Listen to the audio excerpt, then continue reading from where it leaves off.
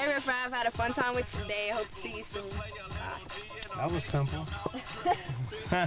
Hey, Riff Raff, uh, signed your dick and uh, now you're happy and I'm not shy anymore and so uh, hope you liked having a whole day with me. So, mwah. love you.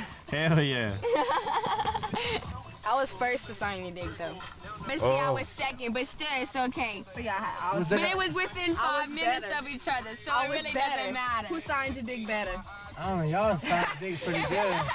Was it, did y'all like the dick y'all was signing? Or? Oh, yeah. It was some fire. Oh, God.